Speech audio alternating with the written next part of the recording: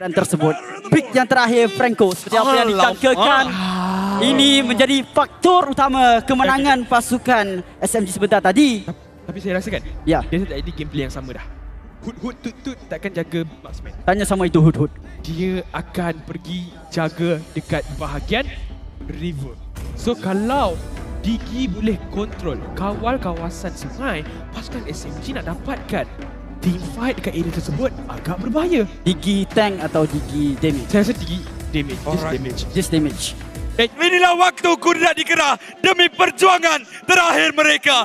Berlawanan pusingan terakhir di antara Homeboys berhadapan tim SMG bakal menentukan siapa yang bakal menjadi penghalang untuk Toda di hari esok. Siap siaga tuan dua puan dua untuk mendapatkan grand finalis yang terakhir pada malam ini juga Homeboys atau tim SMG daripada sudut aggression untuk anda jangan lupa untuk pilih MVP anda scan QR code di bawah tapi apapun apa yang boleh buat aggression terlalu awal sekarang dua-dua buat perkara yang sama Syamilo Ya, Stormy nyawa sangat rendah sebentar tadi. Hampir saja dikorbankan. Kedua-dua perlu gunakan region. Boleh katakan kat sini pasukan Homeboys jauh lebih baik sedikit early game. Dia tak ada apa pun, tak ada beza lagi. Tapi pergerakan tersebut sedikit sebanyak mengganggu sebenarnya mid laner pasukan SMG. Tapi dekat bahagian bawah, Barbosa datang untuk temani Anip. Tapi saya rasa bukan itu tugas pertama mereka. Dia akan ikut kat mana Chibi ada, baru mereka akan mulakan team fight sebentar nanti. Ada di hadapan Subway dan juga Chibi berentap berhadapan beradu mekanik dan juga cuba untuk melakukan poking di antara keduanya dan ah, mereka tak boleh lakukan kesilapan di dalam masa ini. 30 saat lagi Turtle bakal dimunculkan. Dan Barbosa siapa dapat level 4 dulu untuk Roma? Mungkin ada kelebihan bagi mendapatkan Turtle tersebut. Dalam perlawanan sebelum ini Barbosa dimatikan terlebih dahulu. Ya. itu menyebabkan pasukan SMG dapat Turtle Sebanyak 5 game Ya. permainan Kita boleh saksikan yang bahawa Untuk dapatkan level 4 terlebih dahulu Selalunya itu kepakaran pasukan SMG Tapi sekarang ni Chibi telah bersedia dekat bahagian bawah Balance Perlu berjaga-jaga Perlu untuk berjaga-jaga. Nyawa kena yang rendah. Balance. oh. Hilang. First blood berjaya untuk didapatkan Sasa. dalam keadaan Wow. berbahaya. Hail untuk Cibi miliki. Kali ini kalkulasi yang baik. Berjaya untuk dapatkan keuntungan. Nampaknya minion di bahagian bawah akan berjaya untuk memberikan bantuan kepada Anim untuk melakukan gold plating, melakukan kikisan ke atas menara tersebut. Tapi sekurang-kurangnya Turtle berjaya untuk dimiliki oleh tim SMG tidak memberikan peluang yang mudah untuk pasukan Homeboys mendapatkan keuntungan. Kurang-kurangnya luka itu terubat di mana dengan pengambilan turtle yang pertama sedikit sebanyak mengurangkan advantage ataupun kelebihan yang besar kepada pasukan Homeboys. Buat masa ini masih lagi sama untuk kedua pasukan saya boleh katakan walaupun kill berpihak kepada pasukan Homeboys tapi SMG dengan pengambilan neutral objektif mereka mampu sedikit sebanyak memberikan kejutan kepada pasukan Homeboys nanti. luka seribu rindu yang telah diubati pengambilan turtle tersebut tapi tak boleh untuk berhasil terlalu selesa di mana kita lihatkan Warlord cuba tak ada flicker tu. balance telah ditarik Ah, masalah besar ada ke atas lagi peluang untuk kedua tapi peluang kedua sekalipun tak akan Oh. memberi apa-apa makna. Kali ini pasukan Homeboys cuba untuk masuk lagi Oh, memberikan Stormy. fokus kepada Stormy cuba untuk didapatkan tapi penggunaan Oh. Preston memberikan satu hukuman kepada Warlord mendapatkan kill sulung untuk tim SMC di dalam pusingan yang terakhir ini. Ya benar, akhirnya SMG mendapatkan kill tersebut tapi dalam keadaan yang agak terdesak dalam dominasi Homeboys tersebut. Kalau Homeboys dapat melarikan diri sebentar tadi, kemenangan secara total untuk pasukan Homeboys. Yap, kemenangan secara total kepada pasukan Homeboys tetapi pasukan SMG masih lagi ada cara untuk mereka dapatkan comeback. Kena ingat, satu je momen diperlukan daripada hook balance mampu untuk mengubah segalanya di fasa mid to late game. Tapi tak dilupakan, Homeboys punya early game mereka tersangat-sangatlah kemas, mengejutkan Team fight pasukan SMG dan ketika ini Anip telah pun menyiapkan correction side terlebih dahulu. Uh. Dengan Sasa yang perlu lebih sedikit masa untuk siapkan Blade of Despair. Anep ini kalau dia dah siap item dalam kawasan sempit sangat berisiko tinggi untuk tim SMG memulakan sesuatu melainkan kalau ada subway dan balance yang boleh untuk tangkap dia terlebih dahulu akan tetapi untuk pasukan SMG juga sedemikian rupa tunggu masa sasa dapat itemization yang cukupnya untuk Lord atau Turtle yang seterusnya akan didapatkan siapa yang mulakan dulu siapa dapatkan dulu akan mendapatkan turtle ini dengan mudah maafkan saya saya dapatkan dulu kill sebenarnya yang dilakukan Ya. smooth Kali ini kedudukan daripada Smooth sudah pun diketahui. Penggunaan Alton Panel Blow secara terdesak. Cuba untuk mengelak daripada serangan menara. Tapi pada saat yang sama dekat kawasan yang lain pertempuran akan berlaku. Sempat cuba untuk dapatkan. Stormy. Cuba dan cuba. Akhirnya berjaya. Stormy akan ditumbangkan. Turtle berjaya untuk didapatkan. Empat kill. Satu berbalas untuk permainan kali ini. Dan Turtle menjadi yang pertama juga untuk pasukan Homeboys. Permulaan yang sangat cemerlang daripada pasukan Homeboys ketika ini. Mereka boleh tarik nafas lega sedikit Ui. dengan 1400 meter tahun tapi Dia tarik nafas lega tapi Balance dapatkan tarikan ke atas Morlot. Permainan yang lebih baik untuk tim SMG memberikan serangan balas dengan satu iron hook ke atas pemain yang cukup penting. Niat nak tarik nafas tetapi ditarik oleh balance. Sebentar tadi cukup cukup pantas dalam keadaan ada ultimate tak sempat nak buka ke atas tersebut. Namun Subway cuba untuk menangkap Chibi sekarang ni masih lagi seimbang kedua-dua pasukan. Ya, akan ada percubaan untuk melarikan diri Chibi. Tenang saja. Masuk ke dalam kawasan yang lebih selamat. Sapu yang dekat sini. Tetapi lihatlah damage daripada Anip. Kalau dia buka Inspire tu, lebih besar damage-nya. Ya. Kalau dia buka Inspire, lebih laju. Ah, macam tu je lah dia punya logik. Ya, benar. kita faham apa yang Zubat cuba sampaikan sekarang ni. Sepat telah persiapkan dengan adanya Dominant Ice sedikit sebanyak membantu kalau tidak tadah damage sasar. Tapi fokus utama dia adalah untuk mengelakkan minion yang ada untuk pasukan SME sekarang ni. Oh. Untuk pilihan purple buff di Oh, kawasan tarikan. berjaya untuk dapatkan dua orang pemain. Tapi sayangnya, bola bagas sedikit perlahan. Menggunakan penetrate. Cibi mengelak dengan cukup-cukup baik. Tim SMG hampir saja tertangkap sebentar tadi. Tapi masih lagi ada peluang yang kedua untuk mereka kembali ke belakang. Ya, mereka masih lagi dan tapi dari bagi segi SP lane saya boleh beri kredit kepada Smooth yang membuat rotasi yang lebih pantas berbanding dengan Sepat. Sepat akan nampak impak dia apabila berlaku di dalam team fight. Tapi Smooth dia nak tangkap siapa dulu? Nak buat kiting ataupun tangkap siapa? Ya, apa yang boleh katakan sekarang ni untuk sempat dalam memberikan fokus kepada pengambilan objektif mereka tapi Barbosa. Oh, berjaya untuk dapatkan seorang pemain yang cukup-cukup penting CB. Cuba untuk meneruskan lagi serangan tersebut ke arah balance. Tapi fokus ke bahagian menara terlebih dahulu. Tetel bakal mula untuk muncul di bahagian atas. Dalam waktu yang sama sudah pun ada tekanan di bahagian top lane. Tapi dengan cukup pantas sempat masuk ke bahagian atas untuk melakukan clearance secepat yang mungkin. Smooth membuat item damage sekali lagi.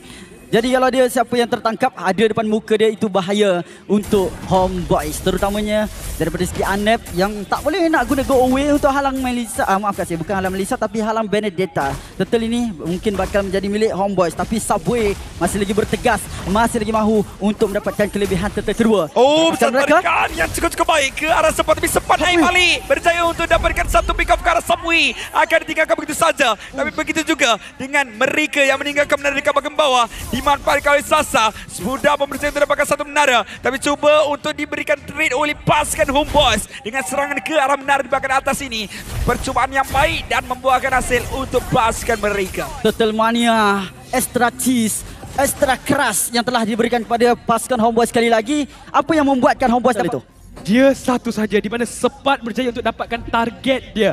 Mendapatkan subway. Kunci utama pengambilan objektif. Dan pasukan Homeboys ada kelebihan yang besar sekarang ni. Dengan 2000 gol. Tapi kena ingat juga dengan pengambilan turret yang mereka ada.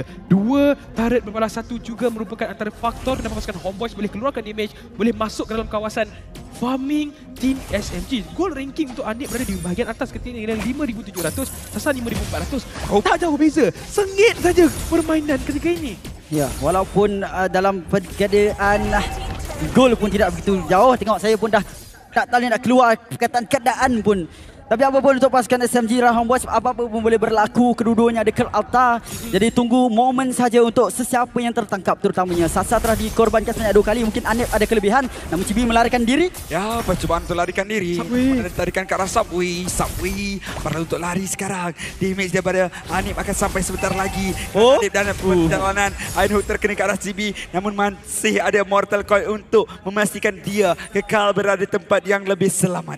Ya, yep. unggul di situ. Masih lagi belum ada sebarang kill yang lebih untuk pasukan SMG. Adakah kill tidak penting ataupun fokus pada objektif saja untuk SMG sekarang Syamilo? Kill bukan itu tak penting. Kill penting. Tapi lihat bagaimana objektif yang kita boleh dapatkan. Kalau kill banyak sekalipun, pengambilan turret untuk pasukan SMG dan mereka laksanakan dengan kemas. Sedar tak sedar, pejam celik, pejam celik. Lot yang pertama telah pun muncul. Pejam selik, pejam selik. Nampak macam tak boleh pejam pada saat ini kerana retribution perlu untuk digunakan oleh kedua-dua jungler milik pasukan SMG dan juga Homeboys. Tapi lihatlah di kawasan Lord hmm. yang mana semakin lama semakin rendah. Satu tarikan ke arah balance dengan penggunaan reverse time tapi Subway diganggu oleh seorang Warlord. Diganggu oleh mid laner oleh pasukan Homeboys. Bukanlah EX laner, bukanlah Roma tapi mid laner yang berjaya untuk mengganggu dengan cukup-cukup cemerlang. Ya, bagaimana Warlord berjaya untuk memberikan damage. Begitu juga dengan Barbosa sebentar tadi. Oh, oh dikeluarkan. Ah. Kali ini lihatlah bagaimana balance ke Alta. Tapi masih lagi ke Alta untuk paskan SMG bertahan. Ada peluang yang kedua. Dia dapat Sasa. Dapatkan Sasa. Berjaya juga tertumbangkan pemain yang cukup penting. Mungkin ini penamanya suatu dan perempuan. Kerana tadi Marksman, tadi jungler. Tiga yang berbaki. Lord dalam perjalanan. Homeboys. Cuba untuk marah. Cuba untuk berarah masuk ke dalam bis milik paskan SMG. Ya, tapi dengan ada Smooth melakukan perkara yang sama, mungkin mereka akan kehilangan di bahagian tengah tapi bagaimana pertahanan boleh dilaksanakan sekarang ini untuk pasukan SMG. Uh, dah meletup benar tersebut. Pengguna all defense sudah boleh pakai. CB berjaya terjatuhkan ataupun sebenarnya dia berjaya untuk dapatkan kill ke atas seorang balance. Namun Lord masih lagi berjaya untuk dibersihkan. Sekurang-kurangnya mereka dapatkan Eddie Him tarik. Ini adalah pulau yang besar. Ini adalah satu kedudukan yang jauh. Secara jujurnya, secara jujurnya ya, kedudukan yang lebih selesa untuk pasukan Homeboys buat masa ini dengan kill yang menjauhi keadaan pasukan SMG dengan pengambilan gol yang besar. Neutral objektif juga mereka dapatkan dengan lebih baik. Tapi fokus utamanya turret. Inhibitor turret di bahagian bawah telah pun ditumpangkan satu jalan kepada pasukan Homeboys. Kalau nak lakukan backdoor, telah pun terbuka. Ya, lihatkan untuk Homeboys, pengawalan yang lebih rapi.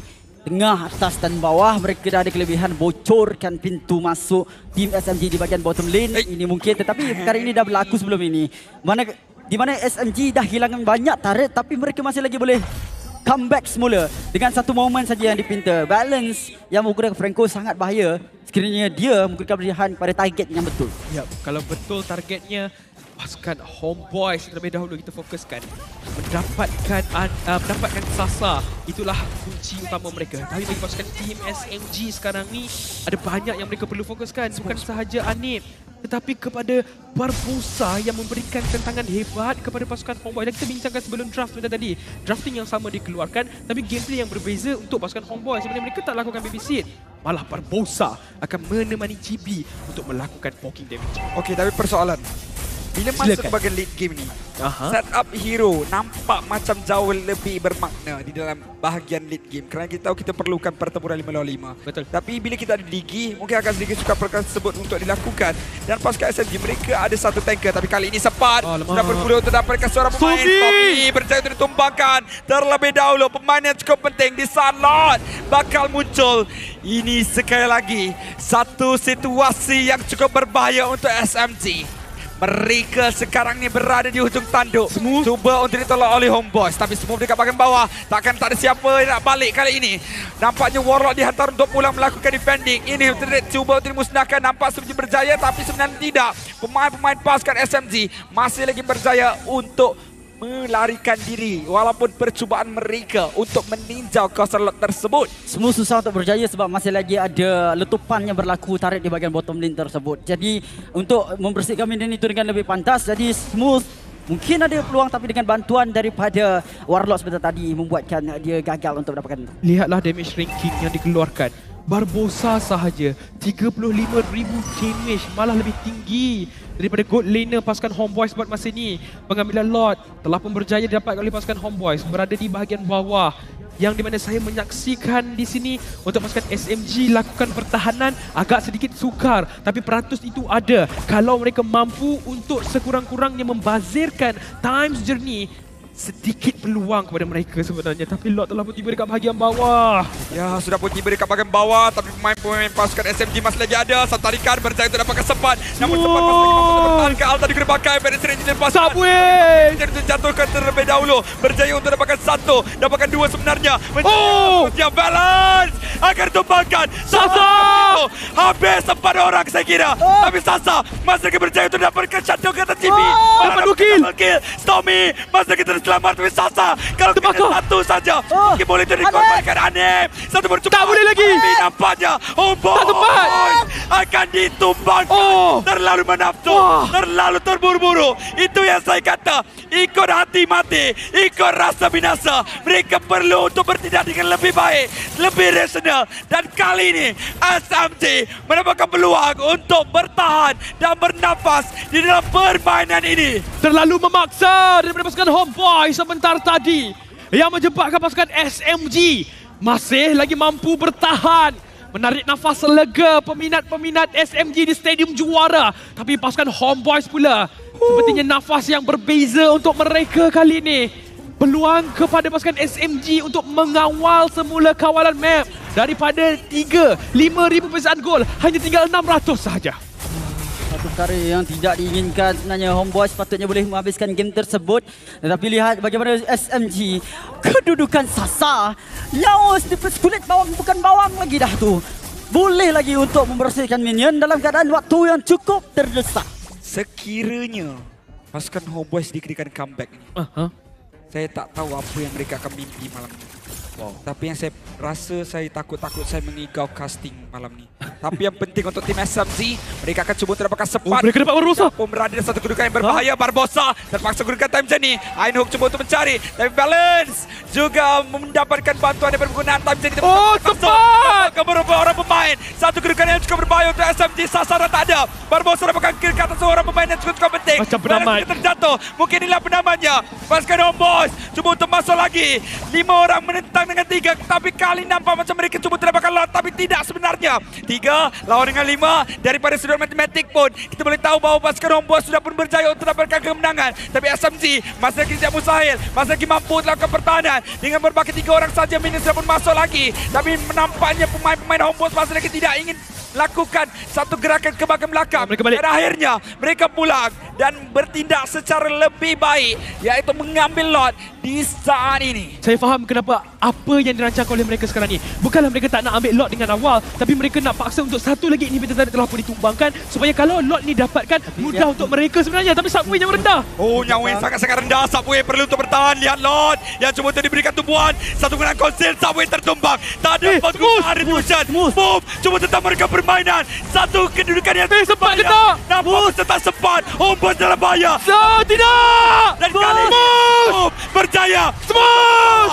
SMG ataupun tidak. Tak sempat! Nampaknya tidak. Sempat tak? Move. Tak sempat! Akan ditarik. Oh! Boys hampir terkorban Oh. satu persatu nyawa mereka akan dicincang oleh Smooth tetapi Smooth juga bakal Wow. berjaya untuk dijatuhkan jantung kita hampir saja untuk meletup apabila Smooth melakukan gerakan tersebut gila Tiga kali lagi diperlukan untuk menjatuhkan kristal. Sayang. Nasib bukan untuk pasukan SMG sekarang ni. Tapi Wow. saja yang tiada Ada lagi Stormy Wow. Masih lagi boleh melakukan pertahanan Kalau dalam keadaan waktu yang betul Kalau ada kill Alta Ataupun time jenis Sekarang tim SMG dalam keadaan bahaya Tarik tali Di antara kedua-dua pasukan Masih lagi berlaku masih lagi berlaku tapi tarik menarik daripada Ainu ke atas Kau Alta ada lagi. Ke atas diguna pakai Dibalas Oh. dengan penggunaan time jadi berstormy Satu gerakan ke bahagian depan Tapi lihatlah Sabu yang cuba untuk bergerak Ke bahagian Barbosa Namun tak Uh. berjaya untuk dapatkan kill No. Stormy damage yang begitu besar sebentar tadi Pasukan Homeboys dan SMG Inilah betapa sukarnya untuk masuk ke Grand Final. Inilah kesukaran yang perlu untuk mereka hadapi. Inilah usaha yang perlu untuk mereka gerah. Kudrat mereka digunakan sehabis baik sedaya upaya untuk satu saja kemenangan. Ini ini bukan grand part untuk mereka sampai Oh. berhadapan dengan pasukan Todak nanti tetapi kita disajikan dengan perlawanan yang lebih memfokuskan kepada kesilapan hampir dilakukan oleh pasukan Ya. Homeboys tapi pergerakan yang bijak dilakukan oleh semua sebentar tadi hampir meletakkan pasukan SMG di grand final tapi pasukan Homeboys sekarang ni Ya, yeah, this is the game of mistake. Siapa yang buat mistake Berbahaya. dahulu, siapa yang tertangkap akan menyebabkan bahan yang cukup besar tambah pula lagi masa mereka drag, lagi lama merasa mereka drag, lagi lama respon time untuk mereka. Tapi yang saya pen- yang saya tahu satu benda je. apa dia Game ini boleh menang dengan dua. Satu team fight, satu split push. takkan boleh dapatkan lot 5 lawan 5 dapatkan kemenangan. Sebab kedua-dua high ground cukup kuat, kedua-dua Betul. mereka boleh untuk lakukan uh, defending di bahagian luar menara juga. Ada ke altar untuk kedua pasukan, ada juga time journey yang boleh untuk digepakai oleh Valentina tersebut. Dan Smooth sekarang ini menggalas tanggungjawab untuk menjaga menara-menara milik pasukan SMG. Minion-minion sekarang dikawal rapi oleh di beliau. Sebenarnya ada banyak juga peluang daripada Anip untuk melakukan split push. Tapi bagaimana pasukan SMG berjaya untuk membaca pergerakan tersebut Oh. hingga hantar Conceal, conceal gameplay telah pun dikeluarkan oleh pasukan Homeboy sekarang yang mencari mangsa tapi bukan Smooth. tindakan yang baik. Sekali lagi semua buat kerja dia. Dia, cuba untuk curi lagi tarik di bahagian bottom lane. Fokus sekarang kali ini pasukan uh, Tomboys ada dekat dalam dot tersebut tapi ada sepat yang cuba untuk memberikan bantuan di bahagian bottom lane. Satu permulaan seperti mana apa yang saya katakan game of mistake. Siapa yang berjaya dapatkan kill atas kesilapan akan menjadi bahan yang cukup cukup luar biasa untuk pasukan yang memberikan kill tersebut. Sekarang ni Cibi pegang lot. Tapi Concealer guna pakai. Balance cari Cibi. Balance cuba untuk dapatkan Cibi. Bladian cuba untuk didapatkan. Oh. Berdaya. Jungler dalam keadaan berbahaya. Sekarang ada ke altar pula. Homer cuba untuk masuk. Ada biru special dilepaskan. Tapi Sasa masih lagi bertindak dengan lebih berhati-hati. Jungler melepaskan Homer masih lagi terselamat. Masih lagi berjaya untuk diberikan bantuan. Tapi sayangnya dia terpaksa untuk pulang. Ini peluang untuk tim SMG. Dapatkan lot dengan lebih awal. Namun dalam waktu yang sama. Di kanan bagian bawah sempat terpaksa untuk kalah tanggungjawab selaku penjaga menara. Tapi tim SMG dengan Uh. power memain di kawasan lot. Semua cuba untuk lakukan split push lagi. Memberikan tekanan. Hook! Anip! SMG berjaya untuk dapatkan pemain yang terpenting. Pasukan Homeboys diranapkan satu persatu. Untuk Oh, dapatkan tidak! seorang pemain yang penting. Tapi Cepat. Cibi sudah digugurkan. Sempat saja berbakit. Adakah ini wipe out? Adakah ini kehancurannya? Pemain-pemain Oh. oh. untuk bertahan. Tapi Stormy berjaya untuk dijatuhkan juga. Lord Balance. mendapatkan balance. Berjaya untuk milikinya. Tapi lihat dari bagian bawah. Yang mana pemain dari pasukan SMG. Warlock ada lagi. Sudah pun cuba untuk lakukan split push. Tapi Warlord masih lagi ada. Belum lagi berjaya untuk diakhiri permainan ini. Tak ada marksman untuk kedua Ke pasukan. altar. Tak ada Dan pada saat ini, Subway yang Oh, tidak. tidak. Sehingga mati. Warlord saja yang ada. Anip dalam 10 saat. Warlord harapan bangsa sekarang ini untuk Home Boys. Tapi Flame Boys perlu untuk berikan semangat kepada pemain utama. Oh, tidak. Belum lagi, belum ini. lagi. Mid laner masih lagi ada. Tapi sekurang-kurangnya yang lain Oh. dapat kembali untuk hidup. Inilah permainan yang cukup sukar untuk kita jangka. Bagaimana jalan ceritanya. Semuanya atas 20 minit lot didapatkan TSMG. Memang peluang besar untuk tim SMG. Bagaimana mereka nak terjemahkan benda ini kepada kemenangan? Kita nampak bagaimana berdisiplin di pasukan Homeboy sebentar tadi call Atta tepat pada waktunya times juri juga perkara yang sama tapi sayang sekali hampir sebenarnya pasukan SMG yang berjaya untuk mendapatkan game ini tapi apakah yang berlaku sebentar tadi Winter Trancher telah digerakkan oleh Chibi sebenarnya Okey. adakah itu kesilapan Yang penting kena Anip. Anip perlu untuk pulang. Anip tak boleh untuk paksa. Saat tarikan cuba untuk dicari. Tapi Lok sudah pun sampai. Kedua kali berbahaya. Semua cuba untuk masuk. Pemain-pemain pasukan SMG cuba untuk berikan bola kepada Kristal. Oh, Dapat Kristal. Ada tanda. Dan Kristal sekarang ini akan dimusnahkan. Mungkin tapi bos. Cuba untuk Oh. SMG. Mengantar oh bos pulang. SMG akan marah. SMG akan berjemput toda. Inilah dia. Grand Finalist kita yang kedua.